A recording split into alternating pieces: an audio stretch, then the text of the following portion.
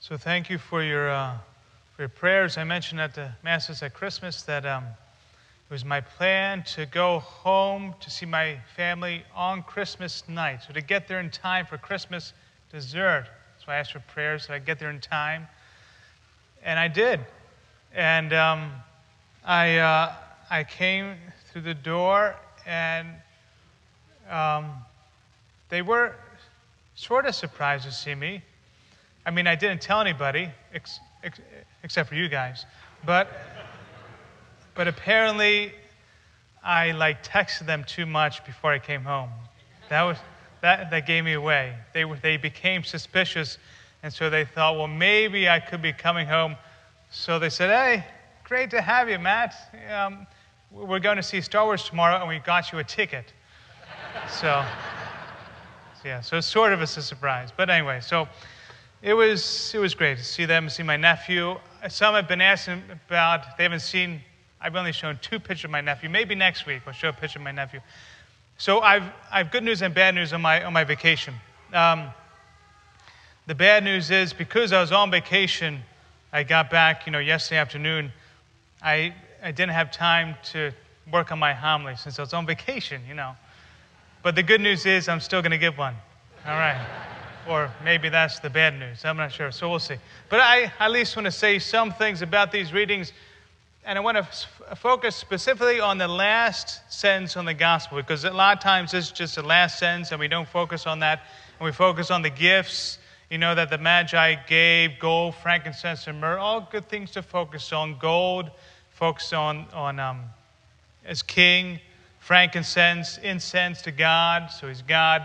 Myrrh, his mortality, that was used, traditionally, we believe, used by Mary to prepare his body when he died. But I want to focus on the last sentence. Having been warned in a dream not to return to Herod, they departed for their country by another way. They came a certain way to see Jesus, but they went back another way because God spoke to them in their dreams, and they believed that God was speaking to them in their dreams. Um, and so they followed that, and they went home another way. Whenever we encounter Jesus, we should always be changed. We should always be changed. We should be a different person. When we come to Mass, we should encounter Jesus in a special way, somehow in the prayers and the song and the in just being in church, being near the Lord's presence, receiving Him in the Eucharist, being close to Him. There should be the sign of peace.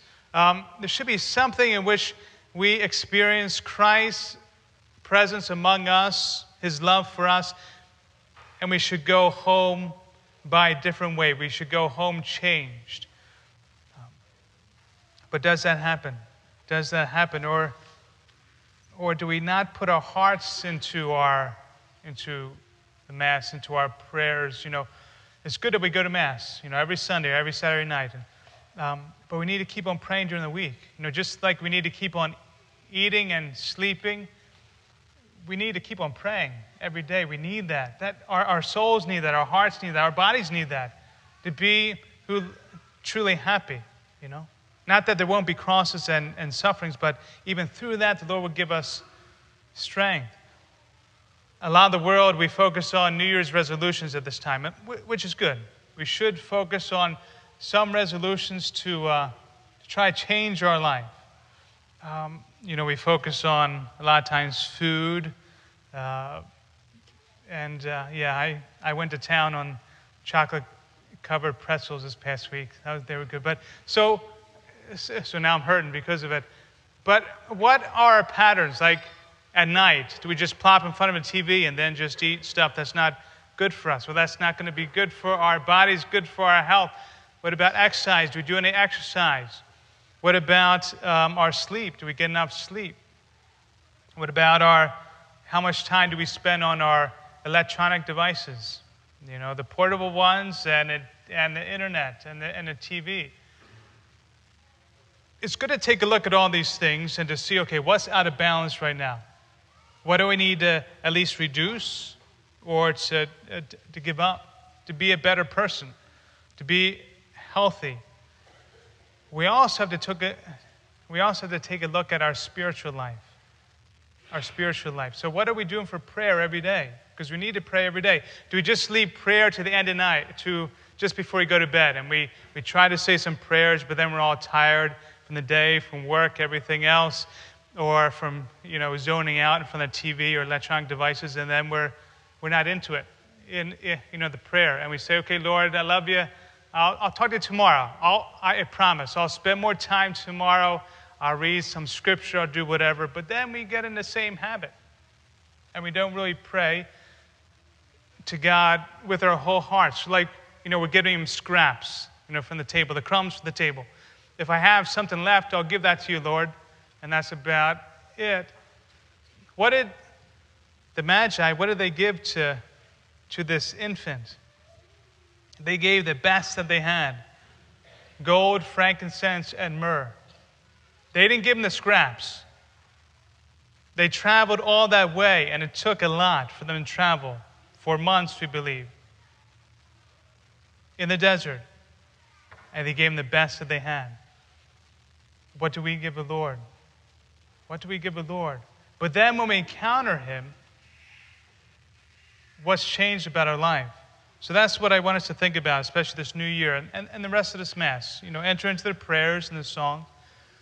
But try to think about okay, Lord, what way do you want me to take back home? I mean, if you want, you can actually drive a different way back home, you know, you know, just on a practical level, just to remind yourself, okay, I'm trying to do things a little bit differently. But what is the Lord calling us to do, to do differently? Because we're going to go back home, and we all have our homes, thanks be to God, and we should pray for those who don't have homes in the area. But that's just our temporary home. That's just our temporary home. Our true home is heaven. Our true home is heaven. So, what are we doing to get there? Lord, give us the courage to not just give you the scraps, but to really make a, a change in our life. But we need your help. We need your wisdom to know what to do. Help us, give us the courage to do it so that we may go home another way.